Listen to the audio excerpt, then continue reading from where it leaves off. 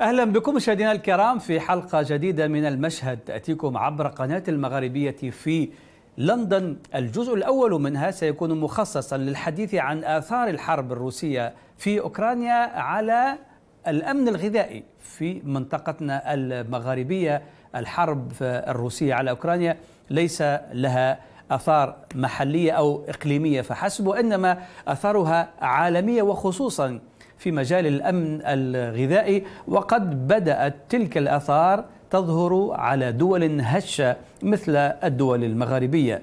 في المغرب قرر المضربون عن العمل من مهن النقل البري للركاب والبضائع تمديد الإضراب الذي بدأ الاثنين ليومين إضافيين احتجاجا على ارتفاع أسعار الوقود بسبب الحرب في أوكرانيا وتشمل هذه المطالب بصورة خاصة تحديد سقف لأسعار بيع الوقود التي ارتفعت بحده مؤخرا ما ما أثر على أسعار المواد الغذائية. في تونس تشهد البلاد اضطرابات في توفير بعض المواد الاستهلاكية بالسوق المحلية في الفترة الأخيرة وارتبطت بالمواد الغذائية المدعومة في مرحلة اولى لكن امتد التفاوت في التوزيع إلى السلع بأنواعها مثل قطع الغيار والاسمده وبعض المواد الأولية ما أثار قلق التونسيين وزاد في نسق الإقبال على التزود وبالتالي ارتفاع الأسعار وشح وشح في بعض المنتجات.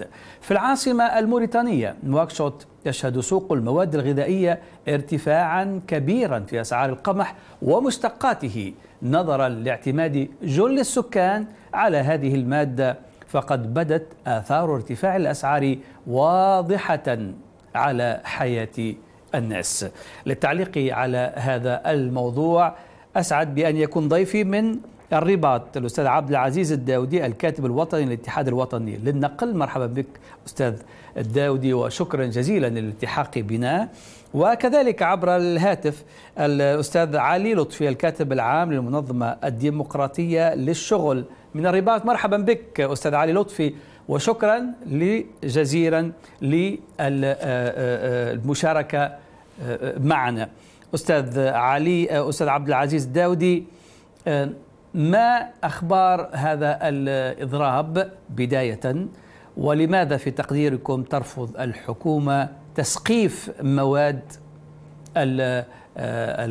البنزين التي تستعمل عادة في لنقل البضائع والمواد الغذائية.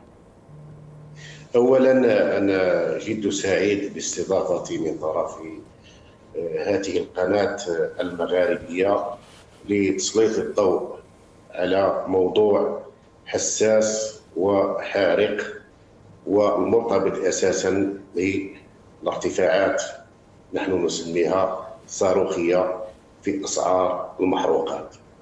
بطبيعة الحال هذه الارتفاعات كان لها انعكاس سلبي على المدخول اليومي لعموم مهني النقل الطرقي بالشكل الذي دفعت به العديد من المقاولات سواء المتوسطة أو الصغرى إلى الإفلاس. وانضافت تبعات إلى الإفلاس أستاذ عبد العزيز إلى الإفلاس؟ إلى الإفلاس نعم هناك مجموعة يعني الوضع خطير بهذا المعنى أستاذ عبد العزيز. مجموعة من المقاولات الصغرى والمتوسطة أفلست ولم تفلس نتيجة فقط الزيادات المتتالية في أسعار المحروقات وإنما كان هناك تراكم ناتج عن سوء تدبير وسوء تسيير. مجموعة من المرافق وزادت من حدة هذا الوضع التبعات الاقتصادية الوخيمة لجائحة كورونا. وما أن بدأ الاقتصاد يتعافى من ضرباته المتتالية حتى أثرت بشكل كبير الحرب حرب روسيا على أوكرانيا.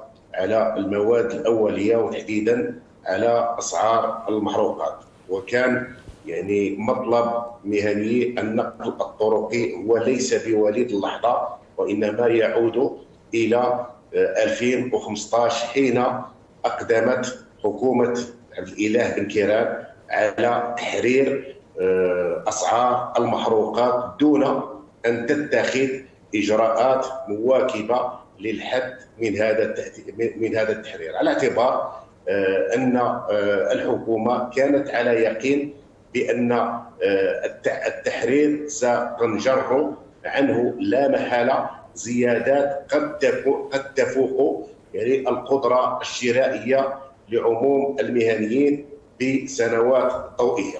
وكنا نبهنا في عدة مناسبات على آه، أن التحرير آه، يجب أن يواكب إجراءات من قبيل التخفيض آه، تخفيض الضريبة على الاستهلاك أو تخفيض الضريبة على القيمة المضافة أو تسقيف أسعار المحروقات وتحديد هوامش الربح. نعم. المستفيد الأكبر من عملية التحرير آه، ليست هي الدولة كما يعتقد البعض. لأن الخطاب الرسمي للحكومة يقول أن آه، الدولة وفرت 38 مليار درهم انتاج تحرير هذه اسعار المحروقات. في حين آه، هناك أخبار من مؤسسات رسمية تقول بأن الشركات المتحكمة في التوزيع والتخزين والاستيراد جنت ارباحا خيالية قدرت بين 2015 و 2022 قدرت ب 58 مليار درهم. وهذه الأرباح صنفت في خانة الأرباح الغير شرعية التي نعم. تنضاف أستاذ عبد العزيز هذا طبيعي جدا في حياة الناس اليومية مع هذا الجشع مع كل الأسف. دائما هناك مستفيدون من الحروب ومن الأزمات باختلاف آه، آه، أنواعها وأنت تؤكد أنه ليست الدولة هي المستفيدة بل هناك أطراف فقط هي التي آه، تستفيد على حساب عموم المغاربة. هنا تحول الاستاذ علي لطفي طبعا ورحب بالسيدة سلمى صدق أستاذ الاقتصاد في جماعة ابن طفيل كذلك التحقت بنا عبر الهاتف. أستاذ علي لطفي لماذا برأيك إلى حد الآن ليس هناك تجاوب رسمي مع مطالب آه، آه، نقابة النقل آه، التي تريد ويبدو من خلال الأستاذ عبد العزيز أنها مستعدة للتنازل أو للتوافق لكن مطلب يبدو معقولا وهو عمليه تسقيف المحروقات حتى لا تؤثر على حياة الناس اليومية وشهر رمضان على الأبواب. لماذا ترفض الحكومة الحديث في هذا المجال أو الذهاب في هذا المطلب برأيك؟ بداية شكرا لقناة المغاربي على الاستضافة الكريمة. هو بالفعل كما أشار ضيفكم الكريم الأخ عبد العزيز من الرباط آه، آه، بخصوص ارتفاع أسعار المحروقات آه، بشكل كبير أدى إلى بالطبع تدني القدرة آه، الشرائية ليس فقط لمهني النقل بل لعامة المواطنين في المغرب وخاصة بالطبع الفئة الفقيرة والهشه والطبقه المتوسطة في المجتمع نظرا لتأثير ارتفاع أسعار المحروقات على أسعار المواد الغذائية الواسعة الاستهلاك. بالطبع الإشارة الصحيحة هو أن في هذه الفترة بالذات والتي بالطبع تقع فيها بعض الأزمات لأن بالطبع بعد التداعيات الخطيره التي كانت أو خلفتها جائحة كورونا والتي أدت إلى ارتفاع أسعار المحروقات وارتفاع أسعار المواد الأولوية في السوق الدولية.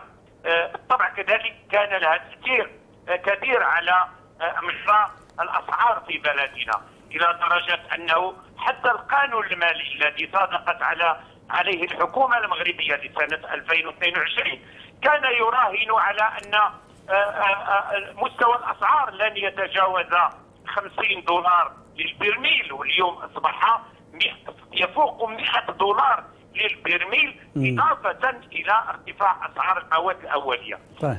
طبعا في هذا الوضع هذا ديال ارتفاع الأسعار ونتيجة كما أشار إلى ذلك الأخ عبد العزيز أن قانون حرية الأسعار والمنافسة فتح أبواب على مصراعيها لفوضى الأسعار بمعنى أنه اليوم في المغرب نشاهد أن عدد من المواد بما فيها أسعار المحروقات ترتفع بدون حدود.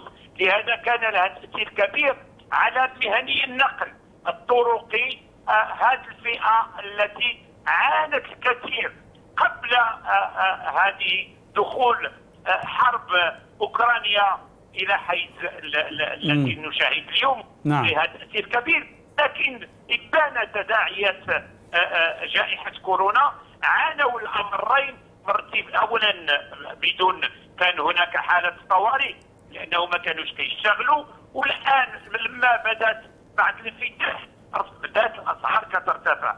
والمستفيدين أكثر بالفعل كما أشار إلى ذلك هم السماسره هم الوسطاء هم واحد المجموعة ديال اللي كيلعبوا واحد آآ آآ على رفع أسعار بشكل خطير ما تيأديوش الضرائب للدوله بمعنى الضحية هم مهني النقد هو هي الدولة بنفسها لأن هاد الوسطاء والمضاربين لا يؤدون ضريبه لخزينه الدولة.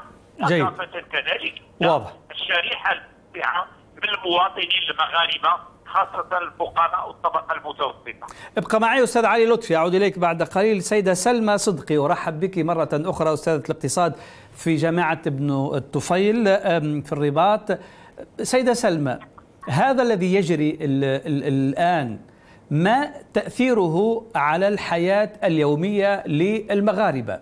على ما يمكن أن نسميه الأمن الغذائي للمغاربة ونحن على أبواب شهر رمضان. مساء الخير أستاذ شكرا على الاستضافة. مساء النور. أعتقد أن ما يجري الآن من تداعيات اقتصادية للحرب الروسية الأوكرانية هو طبعا يؤثر على الأسعار في المغرب يؤثر على أسعار المحروقات لأن المغرب يستورد أكثر من 90% من احتياجاته من المحروقات من السوق الدولية. كذلك المغرب يستورد احتياجاته من القمح نسبه من احتياجاته من السوق الدولية وارتفاع الأسعار في السوق الدولية ينعكس على القدرة الشرائية للمغاربة لأنه ينعكس على السوق المغربية. ولكن آه، بالنسبة ل سيدة سلمى.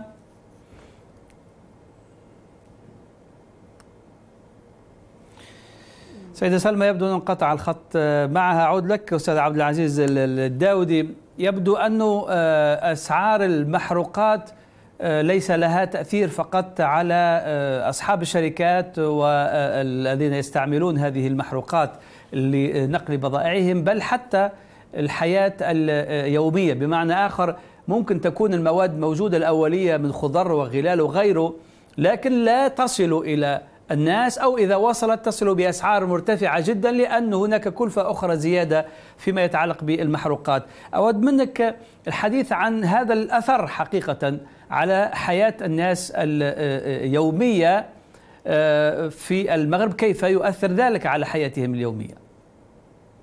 أكيد أنه كلما ازدادت أثمنة أسعار المحروقات في في محطات توزيع الوقود إلا وكان لها تأثير وتأثير كبير على آه، المواد الغذائية آه، مرتبطة بالتغذيه العامة ومرتبطة بالأمن الغذائي. وهذا يعني لاحظناه بشكل جلي في الأسواق سواء أسواق البيع بالجملة أو البيع بالتقسيط حيث أن آه، ثمن الكيلو من الطماطم مثلا في السوق وواصل حاليا 10 آه، دراهم وهذا وهذا وهذا المبلغ لم يبلغه آه، اطلاقا. نفس آه، يعني نفس هذا أستاذ عبد العزيز هذا برغم أن المغرب طماطم من المغرب يعني ما تأتيش من الخارج يعني.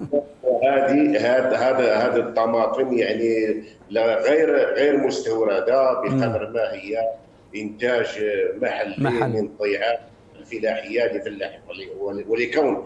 أن آه، تكلفة آه، النقل المرتبطة بارتفاع أسعار آه، المحروقات هي باهظة. فأكيد أن كل ما هو مرتبط بهذا النقل من مواد غذائية أو مواد البناء أو غيرها له تأثير كبير على القدرة الشرائية لعموم المواطنات والمواطنين. أضف إلى هذا طبعا في كل أزمة هناك تجار أزمات هناك مضاربون يستغلون الفرص لأن الحرب من يدفع ثمنها في النهاية هم الأبرياء هم المدنيون هم آه، بشكل خاص عديمو الحماية آه، الذين يدفعون فاتورة أو حرب كيفما كان نوعها. غير للإشارة للإشارة هو أن آه، تقدم في عدة مناسبات. قانون لتنظيم أسعار المحروقات في المغرب نعم. وكلما قدم هذا القانون إلى آه، المناقشة إلا وجوبها برفض شديد من طرف اللوبي المتحكم كما قلت في التخزين والاستيراد والتوزيع كذلك لا تفوتنا الفرصة دون أن نشير إلى أن الأمن الطاقي آه، في المغرب آه، كانت مؤسسة لاسامير تلعب فيه دورا محوريا آه، على اعتبار أن هذه المؤسسة كانت رائدة في تكرير النفط وكانت تمكن المغرب من من تخزين احتياطي قد يكون أو لا قد يجنبه تبعات حرب من هذا القابل إلا أن طيب. هذه المؤسسة والتي كانت آه، على ما أعتقد لمالكها السعودي آه، تمت آه، تصفيتها قضائيا. وبالتالي تم ما من يتحكم الأمن الطاقي في المغرب هو ليس بأفضل حال. طيب أستاذ. وطنية هنا في المغرب للدفاع على هذه المعلمه الوطنية كي تتمكن من إعادة طيب. إنتاج وتكرير النفط على اعتبار أن هذه المؤسسة وحدها كفيلة بتخفيض أو لا بالتخفيف من الحدة نتاع ارتفاع أسعار المحروقات في الأسواق العالمية. طيب أستاذ أبقى معي أعود إليك بعد قليل. سيده سلمى صدقي يبدو عادت مرة أخرى. كان السؤال بخصوص تأثير هذه المحروقات وارتفاع أسعارها على الحياة اليومية للمواطن المغربي. ثم سيدة سلمى هل فقط هذا بسبب ارتفاع الأسعار فقط بسبب آه، ارتفاع أسعار المحروقات أم أن هناك أسباب أخرى كذلك تؤدي في هذا الظرف من الحرب تؤدي أو أدت إلى ارتفاع الأسعار ربما مثل الاحتكار وغيرها من هذه الأسباب. أه، كما قلت في البداية طبعا آه، المغرب يستورد أكثر من 90% من احتياجاته من السوق الدولية آه، من احتياجاته من الطاقة وبالتالي فارتفاع الأسعار في السوق الدوليه يؤدي إلى ارتفاع الأسعار آه، في المغرب، أيضا هناك ترابط كبير بين أسواق الطاقة وأسواق المواد الأساسية والصدمة التي وقعت في أسواق الطاقة بداية الحرب وبعد آه، إعلان الولايات المتحدة آه، حزمة من العقوبات أدت إلى صدمة في أسواق المواد الأساسية.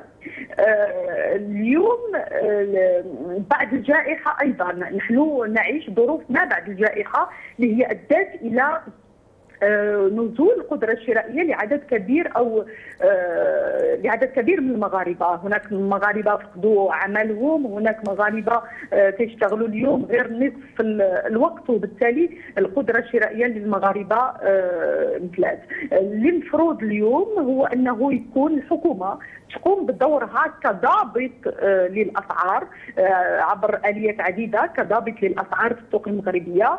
أولا الأسعار في المواد الأساسية يجب مراقبة أكيد آه، كاين بعض الممارسات ولكن لا أعتقد انها هي التي آه، تحسم الموقف. يجب آه، ضبط الأسعار يجب رصد الفئات الهشة والفقيرة والفئات المتوسطة أيضا ورصد الدعم كما حصل كما قامت به الحكومة في جائحه كورونا وأيضا يجب التفكير في آلية يعني بعد تحرير أسعار المحروقات وأنها ما بقاتش كتخضع للمقاصة. يجب ايجاد آلية لتسقيف الأسعار حتى لا تكون هناك لأنه بحال اللي سمعت في المداخلة اللي قبل بعد غلق لاسامير أصبحت هناك بعض الممارسات ديال المضاربات أو ديال الاتفاق على السعر في سوق المحروقات وبالتالي لازم الحكومة تحمي المواطنين، نحن أيضا محتاجين لقانون مالية تعديلي لأن الفرضيات التي قام عليها قانون المالية لم تعد موجودة، محتاجين محتاجين إلى إعادة آه، إعادة فتح لاسامير لأنها اليوم المخزون طيب. الاستراتيجي آه، من النفط. هو آه، شيء حيوي لكل بلد وبالتالي نحن محتاجين إلى إعادة النظر في غلق النقاط الوحيدة سيدة التي سلمى يمتلكها المغرب. هل الكل مرتبط بارتفاع أسعار المحروقات ارتفاع الأسعار المواد الغذائيه أقصد هل كله مرتبط بعملية ارتفاع الأسعار المحروقات أم أن هناك أسباب أخرى كذلك لارتفاع هذه الأسعار؟ ليس طبعا ليست كل الاسعار مرتبطة بالسوق الدولية. آه، هناك أيضا كاين بعض المواد التي فيها شركات تحظى بالاحتكار وبالتالي تيكون آه، المواطن يعني أمام وجوب التوجه إلى تلك المادة. هناك أيضا المغرب يعيش سنة فلاحيه متسمة بالجفاف وبالتالي هذا يؤدي تؤدي إلى آه، ارتفاع الأسعار في سوق الخضروات وسوق المواد الفلاحية. ليست كل ليس كل الارتفاعات مرتبطة بأسواق المحروقات وبالأسواق العالمية. طيب آه، أعود إليك بعد قليل سيدة سلمى. أستاذ علي لطفي آه، يعني هناك في هذه الأزمات من يستثمر فيها ويستفيد وربما يراكم كثيرا من الأرباح. وأقصد هنا أساسا آه، المحتكرون الذين يستغلون هذه الظروف ل آه، آه، يعني زيادة مرابحهم. كيف يمكن؟ هل هناك سعي حكومي جدي لمحاربة الاحتكار واستهداف هؤلاء المحتكرين أم أنهم لهم من القوة ومن التماسك ومن النفاذ ربما ما يمكنهم من الحماية. أستاذ عبد العزيز الداودي يتحدث على لوبيات ربما في ما يتعلق باسعار المحروقات أو في المحروقات عززت الحكومة إلى حد الآن عن مواجهة هؤلاء. هو في البداية لابد من التأكيد على أن هناك عدة عوامل اللي هي تسببت في ارتفاع الأسعار المواد آه، الغذائية آه، ليس فقط آه، ارتفاع أسعار وتكاليف النقل والشحن والتوزيع ديال السلع ديال هذه المواد لكن كذلك أسعار المواد الأولية المستوردة من الخارج والتي تدخل في صناعه المواد الغذائية فضلا عن التضخم لأنه في ظل الجائحة ديال كورونا المغرب كان تقريبا متوقف على مستوى السياحة على مستوى المداخل ديالو من تصدير الخضار والفواكه إلى درجة أن قيمة الدرهم تراجعت مقابل مقابل الدولار والأورو. كذلك وهذا هو اللي مهم المغرب اليوم آه، كيعيش واحد الفترة ديال التقلبات مناخية ندرة الأمطار وشبح الجفاف الذي يهدد المغرب. بالإضافة كما أشارت إلى إلى ذلك السيدة الكريمة أن المغرب كيستورد أزيد من 50% من الحاجيات ديالو من المواد. غير غير من أوكرانيا يستورد 20% من الحبوب. هذا يعني أن هناك عدة عوامل تؤدي إلى ارتفاع أسعار المواد الغذائيه نعم. لكن على مستوى السؤال ديالكم بالفعل هناك آه بالطبع آه آه لوبيات خطيرة. آه، آه، اللي تتساهم هما اللي كنسميهم تجار الأزمات. كان كان هناك تجار الازمه ازمه آه، كورونا. اليوم نلاحظ أن هناك كذلك المضاربين والسماسره والوسطاء تجارة المواد الغذائية الواسعة الاستهلاك بما فيها المسألة ديال أسعار المحروقات. لهذا أعتقد أن على المغرب آه، اتخاذ إجراءات سريعة للحد من هذه المضاربات وهذه الوسطاء اللي كيساهموا في ارتفاع أسعار المواد الغذائية وكذلك عليها أن تقوم بإجراءات على الطريقة الأوروبية. مثلا في أوروبا نتحدث عن شيك الغازوال لمهنيين داخل نتحدث عن شيك خاص للفلاحين الذين ينتجون تكون عندهم صعوبات لترويج المواد ديالهم. الغذائية كذلك بالنسبة للمعامل والشركات ديال الصناعه الغذائية. حنا في المغرب مع للاسف هنا آه، تغيب الإجراءات لدعم الفئات المتضررة أكثر من هذا ارتفاع أسعار المحروقات. المهنيين النقل في المغرب اليوم وماشي عاد اليوم عندهم هذا الإشكال. راه قبل الجائحة واستمر طيلة الجائحة. واليوم الأسعار كترتفع ديال المحروقات بشكل غير مسبوق والحكومة لم تتخذ أي إجراء لدعم الغزوات المهني أو على الأقل لماذا يا أستاذ علي لطفي؟ لماذا لم تتخذ أي إجراء؟ هذا هو السؤال المطروح الآن إحنا أصدرنا كنقابة بلغت الموضوع وطالبنا الحكومة اولا بإعادة النظر في القانون نعم. آه، المتعلق بحريه الأسعار والمنافسه كذلك نظام المنصه اليوم لا بد من خلق واحد السوق خاص بدعم المحروقات نعم. خاصة أنه راه لن تتوقف ما دامت حرب أوكرانيا مستمره والاسعار كترتفع وخاصة أن معروف اليوم أوروبا ستعاني كثيرا من هذه القضية ديال أسعار المحروقات وخاصة الغزوان التي فيها من آه، روسيا.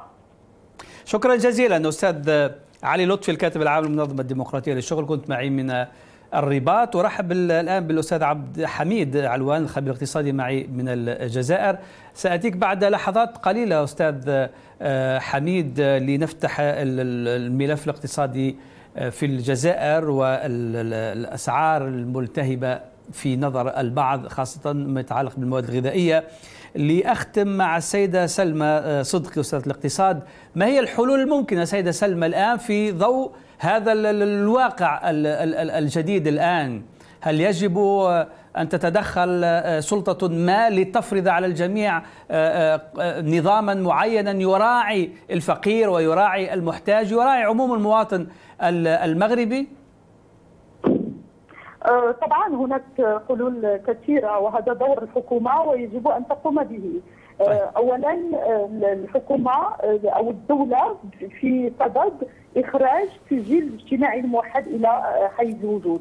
واعتقد أنه يجب الاستطاع يعني الكبير بهذا السجل لأنه يعطينا رصد للفقراء والفئات الهشة وبالتالي يجب دعمهم ماليا لأنه هذا هو البديل للدعم اللي كان كيقدمه صندوق المقاصه يجب دعم هذه الفئات آه، ماليا لتجاوز التفاوت ما بين أسعار المحروقات في السوق الدولية و آه، وانعكاسه هنايا. آه، هناك أيضا تسقيط أسعار المحروقات أعتقد أنه كان على طاولة الحكومة السابقة وهو اليوم على طاولة الحكومة ويجب أن يتخذ إجراء إيه ألا ترين يا سيدة سلمى أن هناك تاخرا كبيرا سيدة سلمى سيدة سلمى. اليس ألا نعم. ترين أن هناك تأخر كبير جدا؟ لا ندري لماذا من طرف الحكومة في اتخاذ قرار بتسقيف أسعار المحروقات؟ في الحقيقة هذا منذ الحكومة السابقة وهذه الحكومة عندها خمس شهور وأعتقد أنه الآن عند وقت مع ما يقع في الأسواق طيب لكن سيدة سلمى هي عندها خمسة شهور في كل الحالات لكن هناك أولويات وهناك ملفات حارقة. هذا القرار. كيف؟ لتنفيذ هذا القرار، نعم حان الوقت لتنفيذ هذا القرار. إيه وطبعا آه، في وأعتقد أنه من ناحية الاحتكار السوق آه، اسواق المواد الأساسية والفينانسيه أعتقد أن الحكومة تقوم بدورها، ما يجب فعله كما قلت هو مراعاة آه، مكتسبات الفئات الهشه والفقيرة والطبقة المتوسطة. شكرا جزيلا سيدة آه، سلمى صدقي أستاذ الاقتصاد كنت معي من الرباط. وأختم كذلك مع الأستاذ عبد العزيز الداودي لأعود للأستاذ حميد في الملف الجزائري. ما الحلول المقترحة أستاذ؟ أنتم طلبتم تسقيف وغيره. إلى حد الآن ليس هناك تسقيف. البعض حتى أستاذ عبد العزيز يتهم رئيس الحكومة ذاته. سيد عزيزة خنوش بأنه يماطل في التسقيف لأنه هو ربما رجل أعمال ومستفيد من عملية المحروقات وارتفاع أسعار المحروقات. هكذا يقول كثير من المنتقدين والملاحظين المغاربة. ما هو الحل الممكن الآن والمستعجل الذي لا بد على الحكومة أن تتخذه. آه، المفروض يعني في الحكومة الحالية أنها تعاقدت مع الشعب لتصحيح ما أفسدته الحكومة السابقة. بمعنى آخر إذا كانت حكومة بن كيران أو حكومة العثماني نعم. آه، اتخذت آه، قرار تحرير أسعار المحروقات بتبعاته الكارثية يعني على شريحة واسعة المواطنات والمواطنين وعلى القدرة الشرائية بشكل عام. نعم. وبالتالي المطلوب من الحكومة الحالية أولا تنظيم أسعار المحروقات. ثانيا تسقيف أسعار المحروقات بالشكل الذي تراعي فيه هذه الحكومة. الدخل الفرضي ولا معدل الدخل الفرضي لعموم المواطنات والمواطنات ويراعي يعني هذا التسقيف الناتج الداخلي الخام للمغرب. آه كما نعلم أن الحد الأدنى للأجر في المغرب ليس كنظيره في الدول الأوروبية وبالتالي يعني التسقيف يجب أن يراعي بالضرورة هذا آه، هذا المعطى المتمثل في الحد الأدنى للأجر المعمول به على مستوى المغرب. آه، من جهة أخرى آه، الدور مجلس المنافسه يجب أن يتحمل مسؤوليته كاملة في ضبط أسعار المحروقات نعم. وآن الآوان لتمتيعه بالصلاحيات الكاملة ليتمكن من وظائفه لا نغفل انه آه، في وقت سابق انعقد اجتماع آه، مع رئيس آه، مجلس المنافسة منافسة إلى جانب التمثيليات النقابية وإلى جانب تجمع النفطيين وإلى جانب الشركات الموزعة على النفط وهذا يعني خلاصة هذه الاجتماعات وهذا هذا التقارير هي نعم. مجلس المنافسة تحدث عن احتمال عن احتمال تواطؤ الشركات الكبرى للتحكم في أسعار النفط وخرج بتوصيات مفادها تغريم هذه الشركات حتى ترجع إلى جادة الصواب وحتى آه، تتمتع بحس مواطناتي يكون نعم. يكون فيه قياده للقانون لا لغيره. جيد. شكرا جزيلا أستاذ عبد العزيز الداودي الكاتب الوطني للاتحاد الوطني للنقل. كنت معي من الرباط على المشاركة والإفادة. طبعا ينضم إلينا كذلك عبر سكايب الخبير الاقتصادي الأستاذ آه، أحمد ياسين. ورحب بك أستاذ أحمد. وشكرا جزيلا للالتحاق بنا. وطبعا كان ولا يزال معنا الدكتور حميد علوان الخبير الاقتصادي من الجزائر. أستاذ حميد علوان أرحب بك آه، مرة أخرى. ما الآثار التي آه، تبدو بادية آه، حاليا في الجزائر على فيما يتعلق طبعا بالحرب هذه الروسية في أوكرانيا على مستوى الأسعار وعلى مستوى توفر المواد الغذائية الأساسية للجزائريين. شكرا جزيلا جمعة مباركة وتحية السلام للمشاهدين. مرحبا بك. أه، دعني دعني أقول لك بأن اليوم الأزمة باتت أه، هي مضاعف لأن الأزمة الصحية التي مر بها العالم والجزائر تضررت كما تضرر كل الدول. اليوم هناك ما يسمى الأمن الغذائي في الدول العربية وخاصة منطقة المغرب.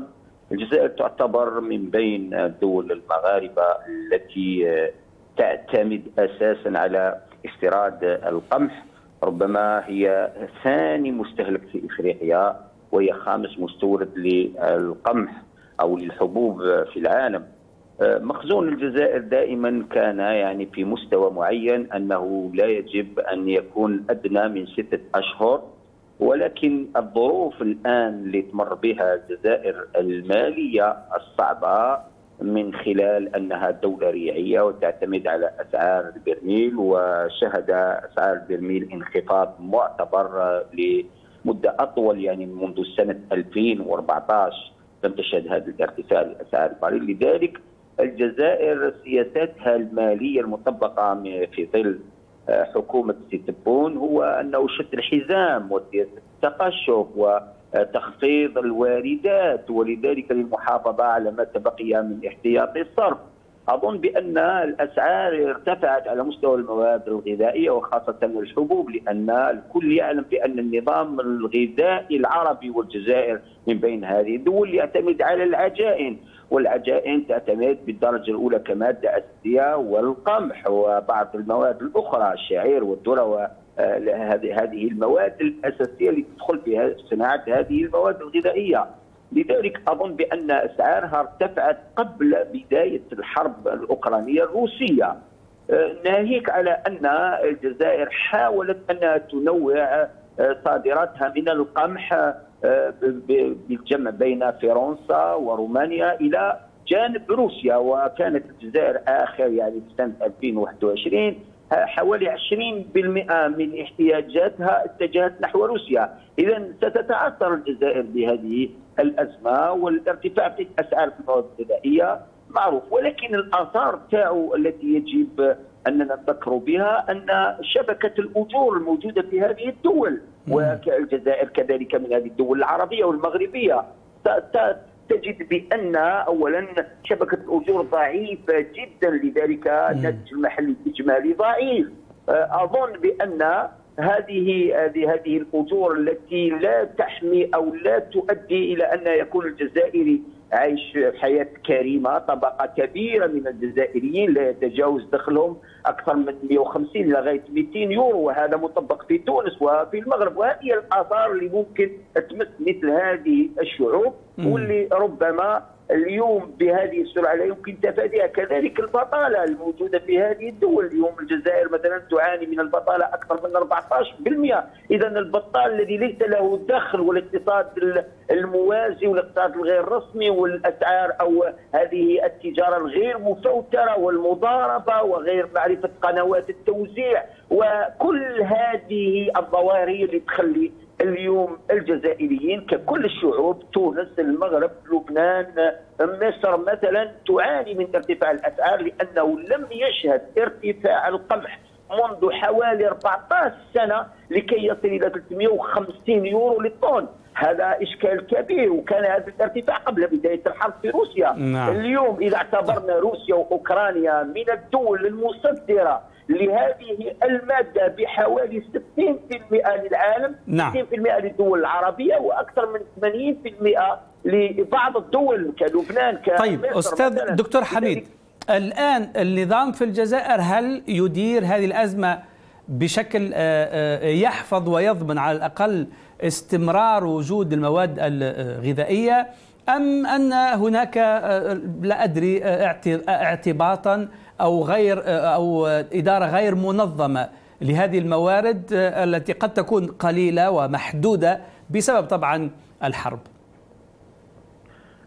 شكرا جزيلا أنت تعرف بأن الاقتصاد الجزائري والتجارة داخل التجارة المحلية في الجزائر هي غير مضبوطة هي تجارة فوضوية لذلك الأسعار متذبذبة مثلا سعر البطاطا يوم يكون 70 دينار بعد يومين ثلاث أيام تجده ارتفع إلى حوالي 100% أظن. كذلك ربما الجزائر في المواد الأخرى أنت شفت بأن المجتمع الجزائري شاهد انقطاعات في الإمدادات مثلا مادة نعم. الزيت اللي هي مادة استراتيجية مادة الخبز وأنت تعرف كذلك بأن الجزائريين يستهلكوا الخبز كمادة أساسية كبيرة ولاحظنا بأن هناك مثلا فيما يخص الأسعار اليوم الجزائر بين سنداب الخبازين الذين يطالبون بارتفاع الأسعار وهشاشة القدرة الشرائية للجزائريين. ولذلك أظن هناك تخبط للحكومة رغم أن الجزائر في يدها أو هذه الأزمة لما يوصل اسعار البريد إلى 150 دولار ربما راح تواجه هذه الأزمة المؤقتة إذا كانت الحرب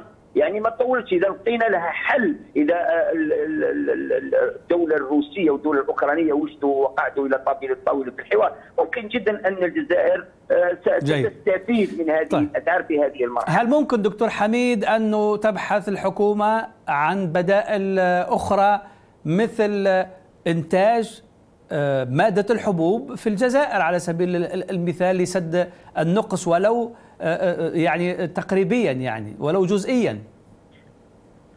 أنت أنت تعلم بأن الاستثمار في الفلاحه ليس يكون بهذه السرعة وبرود الأفعال وإنما يكون تخطيط له مسبق على الأقل لسنة أو سنتين. والجزائر حاولت أنها تنتج من مادة القمح والمعروف بأن المنطقة تاعنا منطقة جفاف. حاولنا أننا على الأقل نصدر أو ننتج محليا على الأقل 3 أو 4 مليون طن سنويا لكن لم تستطع الجزائر تحصيل هذا وإذا وصلت لي راح توصل التكلفه لأن السعر الجزائر اليوم مثلا لماذا هذه الدول لا تجد البدائل؟ لأن اليوم روسيا وأوكرانيا كانت الأسعار فيها يعني الأسعار جد منخفضة إذا قورنت بدول أخرى نظرا لبعد الدول الأخرى ككندا وإمريكا وهذه الدول اللي هي ربما بعيدة والتكاليف خاصة نعم. في ظل ارتفاع الطاقة راح ما نوجدوش بدائل بهذه السرعة ربما الجزائر ستعاني كما يعاني كل الدول وهنا ربما نحط نقطتين.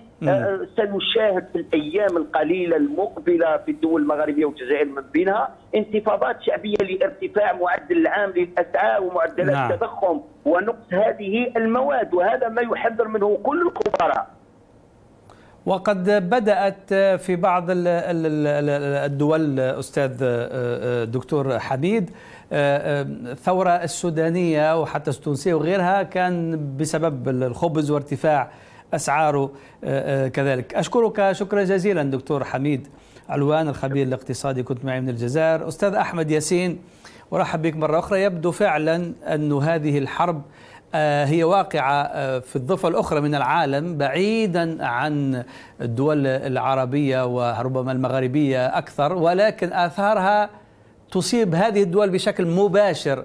طبعا انطلاقا من هشاشة الوضع الاقتصادي والسياسي وعدم وضوح الرؤية عند قادة هذه الدول.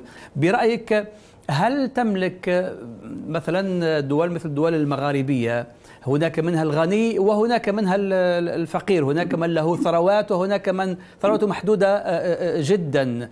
هل تملك مثل هذه الدول أسباب الاستمرار ومواجهة هذه آه، هذه الأزمة؟ وكيف يجب أن تتصرف؟ يعني بالتأكيد الأزمة الأوكرانية خلقت جوا جديدا بالنسبة لقطاع السلع العالمي ككل. ولكن بالرغم من أن هذه الأزمة هي في الشمال الأوروبي وبعيدة جغرافيا عن دول الشرق الأوسط ولكن أنا أرى أن الأزمة الحقيقية ليست في أوكرانيا ولكنها في دول الشرق الأوسط. آه، هناك هناك يعني نقص في الفكر الاستراتيجي لهذه الدول لتأمين غذائها. يعني هذا أطيب مقومات أو أقل مقومات العيش الكريم هو أن تقوم الدولة بتأمين غذائها غذاء شعوبها. يعني هذا أضعف الإيمان كما يقال. لذلك الأزمة ليست في أوكرانيا. الأزمة هي تاريخية وممتدة لعقود من الزمن في دول الشرق الأوسط. مهما كان وضع أي دولة في الشرق الأوسط لديها الإمكانيات إذا تم استخدامها في الطريقة السليمة لكي تؤمن الغذاء لشعوبها. يعني أعطيك مثالا سوريا قبل الأزمة كانت كانت الدولة العربية الوحيدة التي تمكنت من تأمين آه، غذائها من خلال يعني آه، الخطة الخمسية التي كانت متبعة من قبل الحكومة السورية لتشجيع المحاصيل الأساسية في القطاع الزراعي آه، السوري ونجحت قبل اندلاع فتيل الأزمة بالرغم من أن سوريا لا تملك الكثير من الأراضي الزراعية. هناك بقعة كبيرة جدا من الأرض السورية هي هي صحراء أو بادية كما تسمى آه، في سوريا. مثل هذه التجربة التي نجحت لفترة زمنية آه، محددة في سوريا يمكن لها أن تنجح في أي بلد عربي آخر خاصة في الجزائر طالما أن طالما كنتم تتحدثون عن التجربة الجزائرية نعم. الجزائر يعني جغرافيا هي مساحة جغرافية كبيرة جدا فيها الصحراء وكذلك أيضا فيها نسبة كبيرة جدا من الأراضي المستصلحة القابلة للزراعة. لذلك الأزمة لا تكمن في أوكرانيا. الأزمة تكمن في فكر شعوب الشرق الأوسط وحكوماتها بالتحديد التي لم تقدم أو لم تنجح في تقديم الأمن الغذائي لشعوبها. وطالما أنها فشلت على مر السنوات الماضية وبالرغم من أن هذه الأزمة هي أزمة عالمية ولكن سوف تضرب هذه الدول أكثر من غيرها. يعني عندما نتحدث عن ارتفاع أسعار السلع في السوق العالمية ككل. الدول الاكثر تضررا هي الدول المستوردة لهذه السلع. هناك دول أخرى غير مستوردة سوف تواجه تبعات طفيفة جدا لهذه الأزمة المرتبطة بارتفاع مستوى التضخم.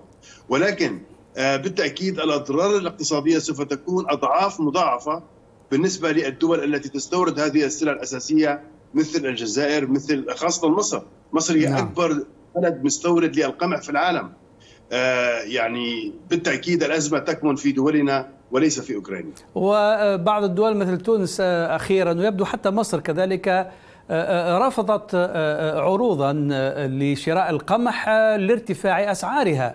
أسعار جنونية والدولة غير قادرة برغم حاجتها لذلك أمام هذا المشهد يعني هناك خطر يبدو سياسي حتى على هذه الأنظمة أستاذ أحمد لأنه سيتسبب في ثورات جياع. وقد رأينا في العراق على سبيل المثال أول أمس خرجت مظاهرات في بعض المحافظات احتجاجا على غلاء الأسعار ولافتات مرفوعة فيها مكتوب عليها ثورة الجياع.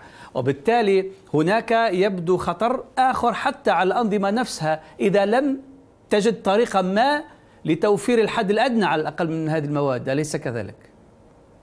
نعم بالتأكيد. وهنا أعود وأذكر ب يعني حال النقص أو انعدام الفكر الاستراتيجي طويل الأمد بالنسبة لهذه الدول لتأمين لقمة عيش شعوبها. يعني العراق من المؤسف جدا من المؤسف جدا ومن المبكي حتى. نعم. أن يواجه العراق مثل هذا الوضع. العراق هو دولة أساسية مصدرة للنفط هو ثاني أكبر دولة مصدرة للنفط في منظومة أوبك. يعني تصدر حوالي خمسة ملايين برميل من النفط يوميا. وحاليا أسعار النفط تتجاوز ال دولار وهناك توقعات بأنها سوف تصل إلى سقف ال 150 دولارا في الفترة الزمنية القصيرة. يعني بالرغم من ذلك الشعب العراقي يعاني الجوع قطاع البنى التحتية في العراق هو قطاع يعني يثير الإشمئزاز يثير الغضب يثير الصراخ يعني كيف يمكن لهذا البلد هو نعم. العراق أن لا يستفيد من تجارب دول أخرى تصدر ممكن يمكن أن أقول 10% فقط من الصادرات النفطية العراقية م. يعني بلد مثل النرويج يصدر فقط حوالي 2.5 مليون برميل من النفط يوميا وتمكن النرويج من تأسيس أكبر صندوق سيادي استثماري في العالم.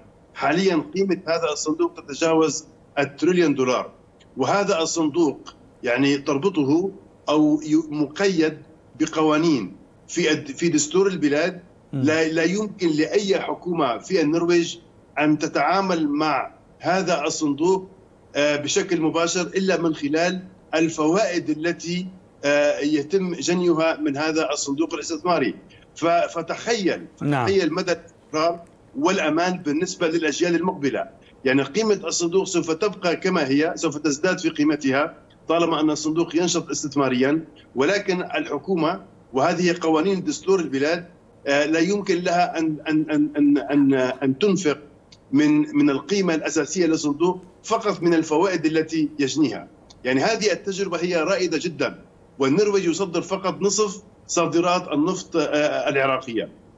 لذلك أعود اذكر بأن الأزمة الحقيقية تكمن في عقول شعوب الشرق الأوسط وحكوماتها. الأزمة الحقيقية التي تستمر لعقود من الزمن وطالما أنهم يعني يفتقرون لمثل هذا الفكر الاستراتيجي بالتأكيد أي أزمة تنشب في أي بلد في العالم سوف يتلقون الأوجاع والضربة المباشرة طالما أنهم غير قادرين لتأمين لقمة عيش شعوبهم. أستاذ أحمد القطاع الخاص في هذه الدول العربية هل قادر على يعني توفير ما تعجز الدولة أو الحكومة على تنفيذه؟ أم أن هنا القطاع الخاص قد يتحول إلى قطاع احتكاري يستفيد من مثل هذه الأزمات؟ وهناك طبعا أغنياء لكل حرب ولكل أزمة. يعني القطاع الخاص في دول الشرق الأوسط هو واقعيا مرتبط مع القطاع العام. لأن وهنا يجب أن أكون يعني صريحا لأن أغلب رواد القطاع الخاص في دول الشرق الأوسط هم من يعني يبتكرون كافة السبل وكافة الطرق لكي ينهبوا أموال القطاع العام وينشطون في نشاطاتهم الخاصة. لذلك ليس هناك من قطاع خاص يعني اورجانيك كما يقال في اللغة الإنجليزية بأن هناك شركات في القطاع الخاص في دول الشرق الأوسط ممن تمكنوا من تأسيس ثروة كبيرة من خلال جهد شخصي من خلال نمو ذاتي لهذه الشركات. يعني أغلب رواد القطاع الخاص في دولنا العربية هم من سرقوا ونهبوا أموال القطاع العام. لذلك لذلك تمكنوا من جمع ثروتهم في شركات القطاع الخاص. لذلك تجربه تجربة شركات القطاع الخاص في دولنا هي بالتأكيد مختلفة كل الاختلاف عن تجارب الدول المتقدمة اقتصاديا. لذلك لا يمكن أن يعول عليهم كثيرا على شركات القطاع الخاص طالما أن يعني الجميع مرتبطون بنفس التركيبة الفكرية الاقتصادية المتخلفة التي لا أرى من خلال هذه التركيبة أي ضوء من الأمل يمكن من خلاله أن نصل إلى بر الأمان. يعني بلد مثل الجزائر بإمكانياته الخارقة، إمكانيات عظيمة جدا. هناك خط إنبوب غاز يربط الجزائر نعم. مع أوروبا، وأوروبا حاليا تحاول هناك خطان حتى أستاذ أحمد حتى نعم. خطان يعني واحد لإسبانيا وواحد لإيطاليا يعني نعم. نعم. يعني يعني أوروبا حاليا تحاول نعم. جاهدة أن أن توجد البديل عن الغاز الروسي والبديل الوحيد الذي يمكن أن يكون واقعيا نعم. هو البديل الغاز الروسي هو الغاز الجزائري. م. لأن لأن البديل عن الغاز الروسي يجب أن يتم استبداله بغاز يأتي عن طريق الأنابيب. وليس هناك من من دولة أخرى إلا الجزائر. يعني هناك النرويج ولكن النرويج أيضا تواجه يعني يعني مشاكل بهذا بهذا الخصوص بخصوص لذلك الجزائر لديه فرصة كبيرة جدا. لكي يعوض القارة الأوروبية عن الغاز الروسي وطالب ولكن طالما أن الجزائر يعني يستهلك من من من الطاقة المستخرجة من ارضه سواء النفط والغاز أكثر مما يمكن أن يصدر. هنا تكمن مشكلة حقيقية جدا. الجزائر شاسع يمكن أن يخفف اعتماده على على على على يعني على الطاقة المستخرجة في أرضه سواء النفط والغاز من خلال الاعتماد على الطاقة المتجددة. نعم. يعني وهو نعم. بالتجربة الناجحة التي حققتها المغرب في في في في تأسيس يعني مزارع كبيرة جدا لتوليد من طيب. الطاقة الشمسية وكذلك أيضا من الرياح شكرا لك دكتور أحمد ياسين الخبير الاقتصادي شكرا لك للمشاركة وللإفادة مشاهدينا الكرام نذهب إلى فاصل قصير ثم نعود للجزء الثاني من المشهد تفضلوا بالبقاء معنا